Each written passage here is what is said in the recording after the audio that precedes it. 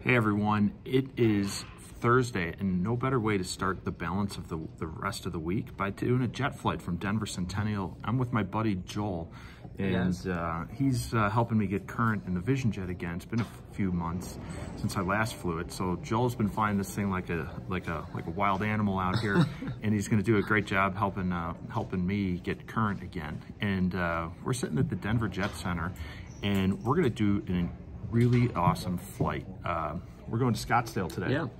So cool. So we're gonna that's uh, that's gonna be really fun. We're gonna fly over the mountains. We've got a brand new G2 Plus that we're gonna be flying uh, in your favorite paint scheme, which is I don't know if we're allowed to announce it yet, but let's let's use your term for it, which is completely murdered out. Is yes. you call it? This is a murdered out, uh, murdered out Vision murdered Jet. out Vision Jet. Yeah. love it.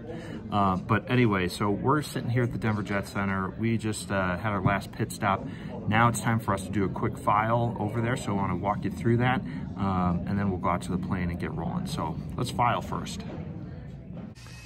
All right, Joel's going to do a great job helping us walk through filing, and I'm just using ForeFlight Mobile on my phone here. Yeah. And um, why don't, since I'm filming, why don't you go ahead and push the buttons here for us? Sure. So what I usually start with, and every, I mean, there's probably several different ways to do this, but I always start in the flight plan with my um, airport I'm flying out from, and then I will put my destination in there too. Basically, two waypoints. And then in just a second, it's going to populate all the recommended routes. And I will click the recommended routes. And I I use this almost every time, nine times out of ten, unless unless it just makes sense to file direct. But a lot of times there's logic built into this, where um, you know these are routes that controllers have given the past several flights, and in fact, there's a, a way to see, you know, in the past month how many times this route was given. So since we have FlightStream 510 on board, uh, it's super easy to go ahead and choose the recommended route. So in this case, it's the Wings 1 departure with a Desert 2 arrival. I'm just going to go ahead and click that, select the route. We'll update it to flight level 300 since we're going west. Now it's already in there. I'm going to go ahead and hit File, hit Flights. Um, I don't think we'll need an alternate, but let's look and see what the TAFs are showing in that area.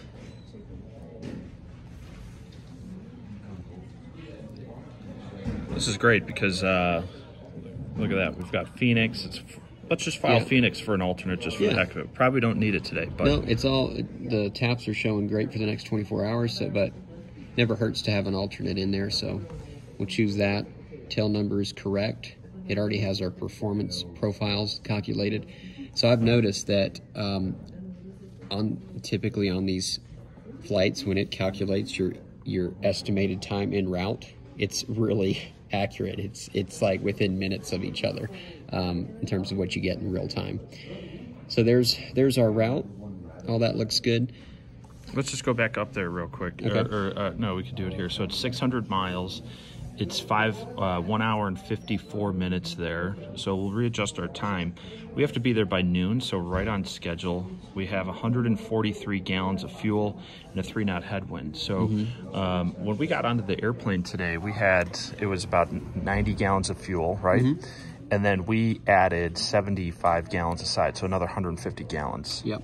So um, I'm horrible at doing video math, um, but we should have more than enough here. Yeah, so Uh, we, we will have, I mean, we basically put on board what we're going to burn in route. So we're going to land with 90 gallons, Yep, which is good. a nice, comfortable reserve. You're a lot smarter than I am with math, so that's really good. All right, so that looks good. I'm going to go ahead and, uh, Let's just sit so that the flight plan syncs. We'll just put two people on board there. yeah. Well, I think I have to do it from the next page. Oh, okay, good. Okay. But let's t- walk through the fuel load here real quick, Okay. just in case. So here's the minimum, or the minimum fuel required, right? Mm-hmm. Yep, minimum fuel required. So, uh, you know, we have today we have more than IFR reserves, NBAA reserves, whatever you'd want to call it. We've got we've got plenty of fuel on board. Um, So yeah, we would need 219 gallons of fuel to legally do this. And with taxing and our uh, flight fuel, uh, fuel to the destination is going to burn about 137 gallons. So we'll have 76 at landing, and our reserve fuel is 52 gallons. So that's mm-hmm. what we would need. But we have uh, it was 90 plus 150, so that's two, 240. 240, 240 gallons. So we're going to do manual fuel, and that really populates what we have. So we have really ultimately an extra 20 gallons of fuel to play around with. Yeah. So, you know, we'll be landing with a, a uh, you know, we'll have, we'll, we're tankering an extra 20 gallons if we run into any problems. Yeah. Cool. That's great. All right. What's really nice is it, it already knows, based on the profiles it's loaded in, all the ramp weights, zero fuel weights, maximum takeoff weights. So based on this information, you know, we've kind of got a, already a glance at our, our um, that we've not exceeded any sort of weight. Awesome. Weight limitations. Great. And then from here, uh, we've got, we're able to put our FBO, we're parking at Ross Aviation today, yeah. right? So we'll select Ross. Fantastic. And then um, I like this. I've used this a lot. I when we shut down, I log the times just here because it's so important to know you're you're doing some heavier fuel calculations in the Vision Jet than you are in a piston or an mm -hmm. SR. So it's really nice to know. Like you're always wondering how much fuel's on board because there's fueling limitations and not necessarily limitation, but making sure that there's balancing and you know you're going to be needing to know that. So I log this every time I fly the Vision Jet. Yeah. Good. Cool. Are we ready to file? Yeah. All right. So we'll hit proceed to file um, and we'll verify all our information here. True airspeed, all that looks correct. Um, we're going to put two people on board here. The route looks correct. Time and route looks correct. Fuel on board looks correct. Um, yeah, so far everything everything looks awesome. Good. All right, so then we'll just hit file. And actually, I'm going to update the departure time just by give, just to give us a few extra minutes here. File and file. So there's a, a very good chance that when we call up clearance, they're going to say cleared as filed to Scottsdale because we chose the recommended route. Um, other people's experience might be different, but at least nine times out of ten, that's what happens to me if I choose a recommended route they, they say cleared as filed. All I have to do when I get in the airplane is hit this little button right here. With the FlightStream 510, there's going to be in this little black space here, there's going to be a, um, uh, a little button that says panel where I can Bluetooth the route to the panel and it's already loaded in our flight plan. All we have to do is activate it. Fantastic. So we're ready to roll here. So if all goes well here, so we're going to be departing, you know, let's say, let's say that's actually maybe 840, 850. So we're going to be landing right about 10, almost 11 o'clock. So fantastic. It's time to go out these doors right here, pay for our fuel, and then the ramp, the airplane's parked out there. Uh, oh, by the way, if you're ever in the Denver area, come to the Denver Jet Center. It's one of Joel's favorites and mine. The Perfect Landing restaurant up here. It's unbelievably good. Uh, you can come up, go up the stairs, and uh, hang out up there. And uh, there's a lot of seats. The food is phenomenal. Uh, breakfast, lunch, and dinner. So check it out. Perfect landing at the Denver Jet Center in Denver Centennial. All right, we're getting buckled in. We're sitting in the cockpit of the G2 Plus here. And uh, I've got these, uh, well, these things are extremely handy. These are the flight data TOLD cards, takeoff and landing data. And um, since it's my first time back in the plane, I'm gonna use this and uh, just walk through like filling it out and um, and how to, you know, what this does. So it really gets my mindset in the right way. So we're all filed here and uh, Joel, you're in the right seat. I'm excited yeah. to get a lesson. Hey, this is great. I, I never thought I'd be instructing Al Waterloo, but I'm honored. No, well, so. I'm honored that you're here. You're, you're the. Uh, I feel sorry for you uh, because uh, this is, is going to be rough. But anyway, this would be good. And uh, let's see this. I'll show you one thing about the G2 Plus that I've noticed right off the bat. All right, so we're ready to start firing up. I've got TOLD card uh, filled out as best as I can for right now. But what I'm gonna do is start getting everything going. So I'm gonna do battery two and battery one on and just let everything sort of fire up at the moment, which is gonna be good. You can start to see things getting rolling, just getting set up. And uh, I'm gonna stay clear of the controls just to make sure that there's any uh, power on tests that are going through, so making sure that that feels good and uh, let it all go through. So what I can start doing right away is following the checklist. There's a little wheel down here that I can scroll, roll this back and forth, and I can push down on it like a button. So what that does is it allows me to either scroll, if I scroll, I can move through the checklist, or if I push down, I can complete that. So our pre-flight is complete. Our doors will come over here make sure that everything is closed and locked, which it is. I've got the parking brake on, which is an old SR habit that I have. Parking brake is required. Battery one is on. Battery two is on. Generator. I've heard mixed things about the generators. Do you leave them on? Yeah. When you start? Yeah. Okay, good. So those are going to go on. Uh, external GPU is uh, not connected. And our FADEC channel coming over here, we have channel B, which is fantastic. So we're in a good start stop, uh, spot to uh, start rolling here. All right, I'm gonna go right into the start checklist. Our strobe lights, those are on. CAS messages, these are normal for us right now until we get everything initialized. Our thrust lever coming down here, making sure that that's all the way down to the idle.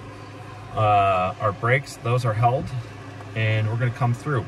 I'm just gonna run through this and I'm gonna go flow through it. So I'm gonna read it first. So the engine knob over here is gonna go to run. Then we're gonna listen to a fuel pump and we're gonna see an, an indication that it's on and we're gonna listen to it. Then we're gonna make sure that there's no start warning and then we'll hit the button and start, start up the engine. That's where we're gonna go and monitor all of our engine gauges and uh, make sure everything's set. And the FADEC will basically command all that. So here we go, strobe lights, those are co coming on. I could come over to our engine, start run. So you're gonna hear that. I see the pump and I hear it in my ear, no, no volts, and we can press it. Now, coming over here, monitoring, making sure everything looks good. Temperature's going good. Looking like a really good start so far. Fantastic. Nice and cool. Cold temperature. This is all looking nice. That came off. We got a good, nice start. So fantastic. Go ahead and go through the rest of this. Our engine instruments are good. Engine ice protection system. We don't need it right now. ECS control panel right down here going to turn on our environmentals, turn that on. External GPU at the moment is uh, uh, not connected. Our oxygen master is coming on. We'll initialize our uh, avionics. I'm going to turn our bleed on while we're over here and uh, start doing this. So so we're going to do our avionics initialization, and we come down here to our center panel uh, touchscreen and make sure that our databases, those are all uh, in date, which they are. I'm going to hit next. Our safety information, there's a handful of different pages that we're going to verify, so I'm going to acknowledge that. This airplane's equipped with caps. We're aware of that. Our passenger briefing, Joel and I talked about a briefing beforehand, but uh, same as if you're coming from an SR, same same idea here. And uh, then I'm going to hit next. So I've got to do a uh, stall and fire test. So what we're going to do is hit this button, and we're going to see fire. Fire's lit up here. These bottles are uh, illuminated. We're hearing fire through our annunciator. We have warnings. There's our stall, horn, Stall. and making sure that that system is active and working. That's fantastic. So that's that just completed. So we got two good tests. Our next thing, we're going to sync our fuel. We're going to initialize it. So we have 240 gallons of fuel right here. And the way that I'm going to do that, do that is tell the computer to sync how much fuel that we have. So that's right. I'm going to hit next. our weight and balance is uh, looking good here. So uh, I'm uh, 230. Joel, 170. amazing. Bringing the average down for us, which I like. And uh, so we're all set here. That looks great. Well within balance. So I want to show you one cool thing. So based on the weight we just plugged in, Yeah. there's our total aircraft weight of 5736. So we're we're you know 270 pounds under gross, which is nice. Uh, it already knows density, altitude, and our temperatures and everything. So based on that data, it's going to calculate our ground roll, our ground roll for a 50 foot obstacle, and what our climb gradient is. So it's basically just ran our performance charts for us. That's fantastic. So this is, I remember departing out of Denver Centennial, and this number was a lot uh, uh, higher. Granted, it's a little cooler out here in the fall uh, today, uh, which is nice. So we're about 30, 40 degrees cooler than I last time I flew out of here.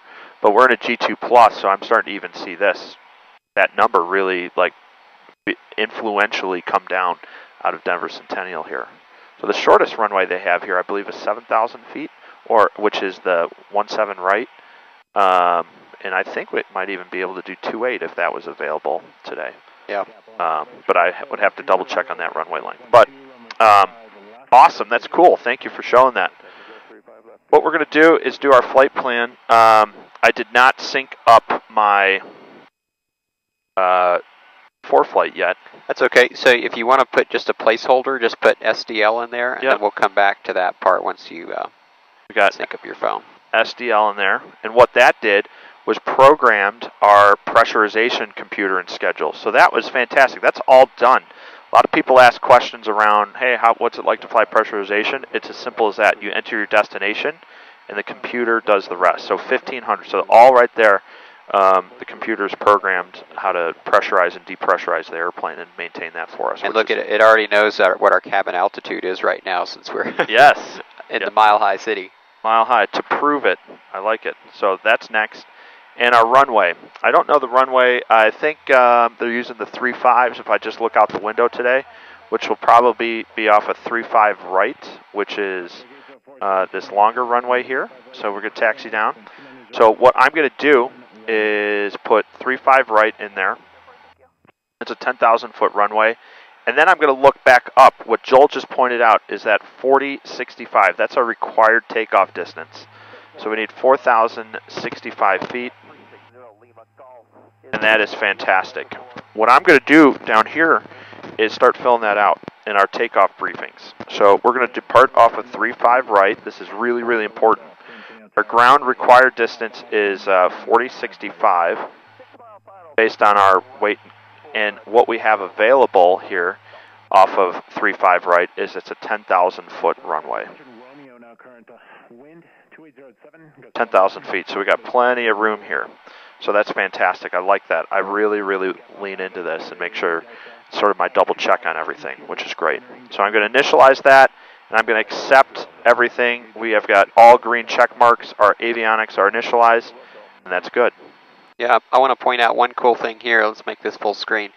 So because we told the uh, Perspective Touch Plus that we're going to take off on 3-5 right, you'll notice that 3-5 right is, is highlighted with chevrons going in the right direction. So if we were to inadvertently taxi onto the wrong runway, or choose a runway that was not 4,065 feet, it would we would hear an oral warning. So it would say check runway. And if the runway was too short, it would say runway too short. So there's logic built into that. This is one last little self check that we've selected a runway, we've put in the required takeoff distance, and we're not going to uh, make a rookie mistake today. So Fantastic. That's good. I'm glad to know that. All right. So the other thing that we're going to do, we're going to finish up the checklist. The avionics, they've been initialized. Our caps pin is down here. We have it uh, removed and uh, stowed. Our passengers, uh, you and I, have been briefed. Our seatbelts are secured. And our bleed switch is on. That's our fresh air switch. Uh, bleed is uh, selected to the bleed. So we're going to go to our next checklist here. This is our before taxi, so this is where we're going to go ahead and get all of our clearance and uh, everything. But before I do that, what I want to do is pull up our um, pull up our uh, Bluetooth and everything. So you just went in and grabbed that. When I'm going to come down here, I can see in my Bluetooth settings 264 Yan- 246 Yankee. It's going to be set. So it's going to take a second to pair to it, which is going to be fantastic. That matches with that, so I'm going to say yes and pair. And now we've got, we're connected, which Yep. is great. So if you go back to your four ForeFlight, you should get a message here in just a second that says, would you like a route? And just so, so hit load route for now. Hit load route. Now go back to your flight plan and and go go down to your uh, your route there. Okay, so all right, so our route is still in there, the one we filed. Now go ahead and hit the the export button there at the top. Now the panel button appears, so go ahead and push that. We should see a little flash here in just a second. Three five right is going to be our departure runway here. That's good. There it is. So hit connect, There we go. hit that, and then it'll ask you to activate standby. So activate standby. Okay. So now the whole route's in there. Fantastic. So we've got that all set up for our, our flight plan is programmed, um, which we're going to do uh, use here. And what I'm going to do is go ahead and get our radio set up. So here we are. We're going to do our waypoint info airport. I'm going to choose KAPA where we're sitting and go into our frequencies and just sort of rapid fire program these. That uh, clearance. So what we're going to do is come over here to Mike. Use caution for simultaneous start operations close listening. separated parallel runways. All departures advise ground control. Up is complete and remain on ground control frequency until advised. VFR departures advise ground control direction of flight. So I'm going to start filling Notice this out. airmen. Runway 3, We're 5 go to right, rail out of service. Now we're going to type, Advise on this contact you have Romeo. we've got information Romeo. Centennial Airport information Romeo 1553 Zulu 1310 900 visibility 10. Two clouds 8000. Two clouds 13000. 20,000 scattered, temperature 6, dew point minus 11, altimeter 3014. Visual approach in use, landing at departing runway 35 right, runway 35 left. Runways 1028 open and available. Hazardous weather for the Colorado Air available from flight service. Low level wind advisories are in effect. Use caution for simultaneous operations close separated parallel runways. All departures advise ground control. Road up is complete and remain on ground control frequency until advised. VFR departures advise ground control direction of flight. Notice to airmen. Runway 35 right, rail out of service. Advise on this contact you have Romeo. We got Romeo. So now I'm going to come up here and switch to our clearance delivery frequency. I'm just going to load preload ground. We're going to be in a good spot and uh, do call up uh, clearance for our um, uh, clearance here to Scottsdale. Clearance, good morning. Uh, Vision Jet 246 Yankee with uh, Romeo Instruments to Scottsdale. Vision 246 Yankee Centennial, clearance clear to the Scottsdale Airport via the Wings 1 departure Teru transition as filed. Maintain 8000, Denver departure frequency 132.75, squawk 0610. Clear to Scottsdale via the Wings uh, 1 departure Taylor transition is filed. Maintain 8000. Departures 132.75, squawk 0610 for Vision Jet 246 Yankee. Vision Jet 246 Yankee, read back correct. Okay. One of the things that I do here is I work backwards in my clearance. So to make sure I hit everything I've done uh, correctly, transponder code is 0610. I'm going to come over here and type that in 0610 and enter. That's programmed. Our departure frequency is uh, 13275, which that is programmed in right there. I'm going to set 8,000 as my initial altitude, and that is going to be set right here. 360 Lima Golf, turn Confirm. around, cross Alpha. And then the Wings 1 Teru transition, we've already programmed that, but going to make sure that looks like uh, uh, looks exactly like that. So we can verify the whole thing off of 35 right, Wings 1, Teru, and then the rest of it's filed all the way down Investigate report from the Montrose, ground, cross Alpha. and then uh, the arrival into the Desert 2 arrival. So, kind of uh, to piggyback on our planning on the front end, we knew there was a good chance that that's the, that's the route we would get because it was loaded in the recommended settings.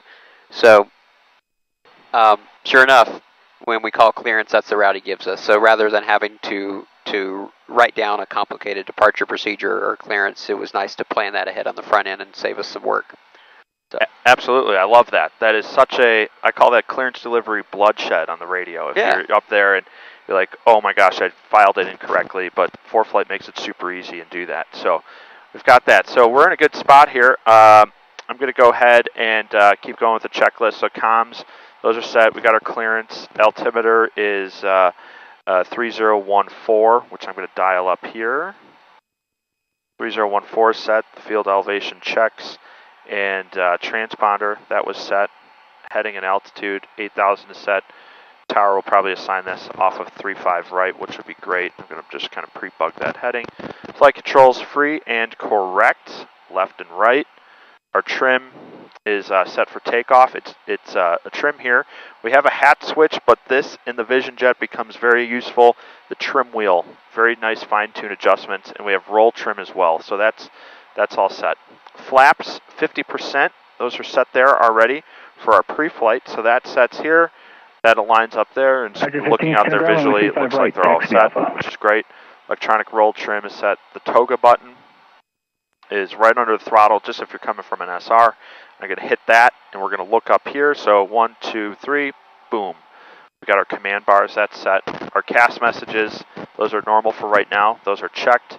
Uh, parking brake is released, and then brakes are going to be checked from there. So nice thing about this is that idle power, the plane doesn't really move. So I don't have the parking brake on or my feet on the brakes right now, so that's nice, and we're not we're not rolling. Awesome. So I'm just going to do our takeoff briefing here. Um, it's been a little bit. 8,000 first fix is going to be uh, runway heading or bumps. Clearance clear the Foxtrot Charlie Mike Airport via the Planes 1 departure, Akron. So what I'm going to do real quick is just brief this. This is my takeoff briefing, and it's really nice. So we're going to depart off of runway 35 right. We need 4,065 feet available. We've got 10,000 feet uh, uh, on board or available to us. We're going to rotate at 90 knots, positive rate, gear up. Flight director, uh, we're going to pitch right into it. We're going to climb at 115, pass it through that, flaps up. We're going to accelerate to a VY speed of 160. Then our initial altitude is going to be 8,000, then to the bumps intersection. And if um, we have any issues uh, or detect any vibration sounds or the engine fails, we're going to abort the takeoff immediately. Uh, our CAPS deployment strategy is uh, we're at 5,800 feet right now. Um, we've got uh, 5,800 plus 600 is 6,400. So if 5,800 to 6,400 feet, we're going to land straight ahead and uh, use caps as necessary. Above 6,400 feet, all the way up through uh, 7,800 feet, we'll pull immediately. Above 7,800 feet, we'll triage and troubleshoot, but coming back down through 7,800, we'll pull. And any um, threats or special conditions for this flight, I'm the threat. I'm not very current in the jet right now. Joel is being so patient and getting us going again, so props off to Joel and uh, it's going to be a beautiful day. So one thing I'll add with regards to the the CAPS decision altitude, we can we can there's two places we can put this. We can look. There's our radar altimeter. So as long as that says 600 feet, we could pull CAPS. Um, if you rather than doing the um, conversion to MSL versus AGL, sometimes I like to bug it right here in my minimum section, so I could put what did we say, 6,400? Yeah, 6,400 feet. So 6,400, and then it just happens to show up in my minimums right here. So that's one little hack on um, what to remember your CAPS decision altitude is. That's fantastic. Great. Um, last thing I'm just going to do, I've done this this flight a lot, and we sort of briefed it on the ground, but just for our video here, I'm going to show this. This is uh, managing our panes uh, windows here. But what I'm going to do is just pull up the chart and uh, down here for our departure for the wings 1 departure and just make sure there's nothing abnormal. So uh, if we're departing off of Centennial, what we're going to do is climb off of 3-5 right. I can zoom in just to make that a little bit better. Uh, climb off of 3-5 right, heading 350 6800, and then heading 350, we're assigned by ATC.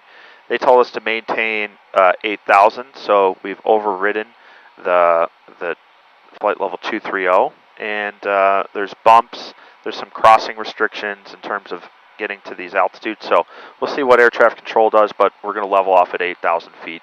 G2 Plus today. We're going to get great performance, and it's uh, nice and cool Hey, out. if you'll zoom out, I think there was one little red flag we need to look at Okay. up in the top corner here. What does that say? All right, so that says accelerate to 250 knots or greater upon reaching 10,000. If slower speeds meet crossing restrictions, advise ATC uh, prior to taxi. So we'll see. Uh, we'll advise air traffic control of that and when we're ready to go, um, which is good. All right. All right. Uh, let's see here. So I'm going to go ahead and load up ground. Let's plug that in. APA. We'll call them ready to taxi from the Denver jet. How you feeling, Joel? Feeling good. Okay, here we go. Com 2 is up. Got that. And I'm going to come over here and just turn our map back on so we can see. Okay. Ground, uh, ground Vision Jet uh, 246 Yankee at uh, Denver Jet with Romeo ready to taxi IFR. Vision Jet 246 Yankee, Centennial Ground, runway 35 right, taxi the Alpha. 35 right via Alpha, uh, s- uh, 46 Yankee, thank you. Okay, good. We're clear left, clear right, and we're ready to go. Good.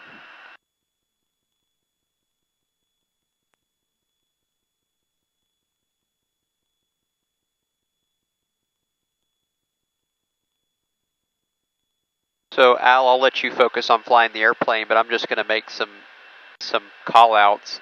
I, you know, this is a true demonstration of what the G2 Plus can can do, and if you notice here with our blue cyan, that's our available takeoff thrust. So we're really going to have 100% capacity of what the FJ33 can give us today. So um, we'll I'm kind of- excited to see that. yeah. So we determined that our our ground roll was going to be about 2,400 feet. Yes. Just using the runway signage, I'm going to kind of uh, see how close we get to that, or if we beat it. So Great. Fantastic. Since this is my first time back into the Vision Jet after a couple months, I'm going to go on autopilot right away, um, just to just to start feeling it out and get used to it. And uh, with the extra thrust, I haven't been on in a G2 Plus yet, Two eight nine two four, um, so not used to the extra climb that we're going to be Airport experiencing. via We got a quick level off at 8,000 feet. red table transition. So that'll be uh, that'll be great. Any any thoughts around that? Is that all right with you? Denver departure great. frequency 132.75. Squawk 51. what I'd recommend, um, you know, is is let's uh, we can use a sort of max rate of climb, so we're clear of all obstacles Great. for that initial assigned altitude.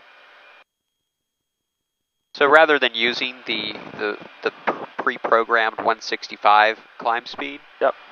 What I'd recommend in high density altitude airports Bravo, Bravo, is read um, we'll go to manual on the auto throttle. Number 64 Yankee, monitor tower. Thanks, uh, 64 Yankee. And rather than climbing out at 165, maybe we'll climb out at 130 and just get the max rate of climb, Good. clear all obstacles.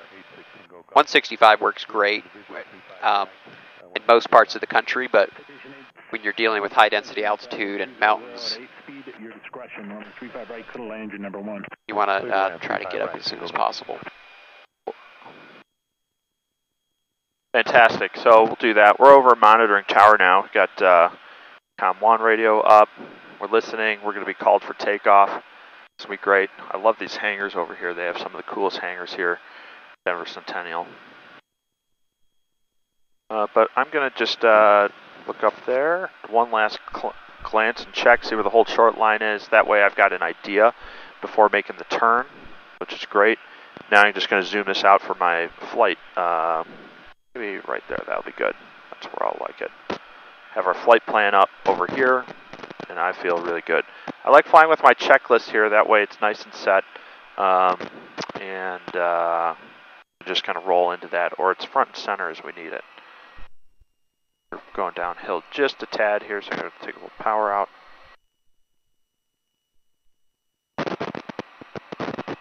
And they'll call us ready for takeoff.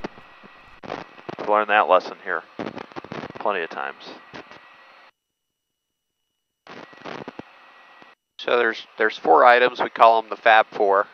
Four items before we take the runway, and that's to make sure all our probe heats are on, all of our lights are on, and our flaps are set, our trim set. So that's kind of one last little self check. Make sure we hit all the four items. Vision 264 Yankee Sierra, correction, Yankee Centennial Tower.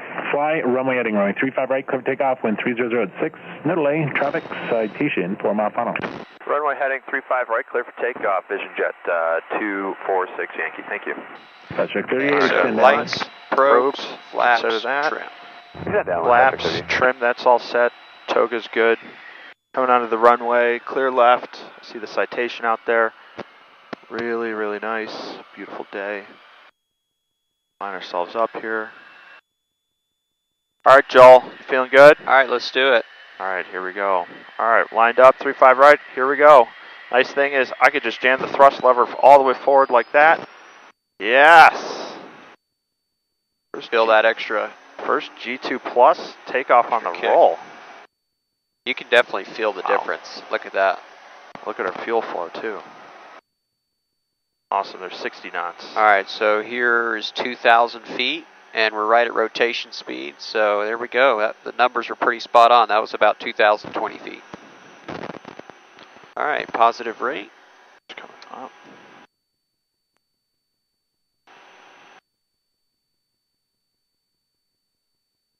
Fantastic.